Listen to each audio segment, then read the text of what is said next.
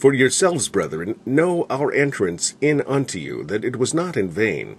But even after that we had suffered before, and were shamefully entreated, as ye know, at Philippi, we were bold in our God to speak unto you the gospel of God with much contention. For our exhortation was not of deceit, nor of uncleanness, nor of in guile. But as we were allowed of God to be put in trust with the gospel, even so we speak, not as pleasing men, but God, which trieth our hearts. For neither at any time used we flattering words, as ye know, nor a cloak of covetousness, God is witness. Nor of men sought we glory, neither of you, nor yet of others, when we might have been burdensome, as the apostles of Christ. But we were gentle among you, even as a nurse cherisheth her children. So, being affectionately desirous of you, we were willing to have imparted unto you not the gospel of God only, but also our own souls, because ye were dear unto us. For ye remember, brethren, our labor and travail, for laboring night and day, because we would not be chargeable unto any of you. We preached unto you the gospel of God Ye are witnesses, and God also, how holily and justly and unblameably we behaved ourselves among you that believe.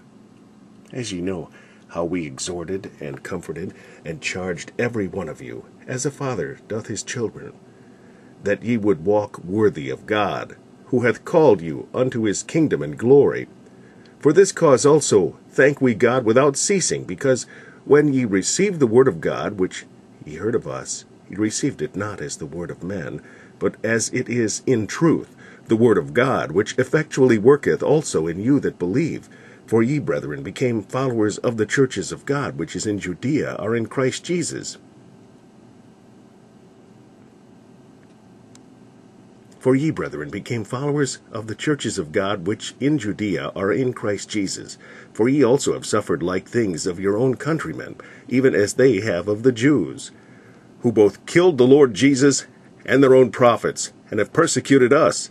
And they please not God, and are contrary to all men, forbidding us to speak to the Gentiles, that they might be saved, to fill up their sins always. For the wrath is come upon them to the uttermost. But we, brethren, being taken from you for a short time in presence, not in heart, endeavored the more abundantly to seek your face with great desire. Wherefore we would have come unto you, even I Paul, once and again, but Satan hindered us.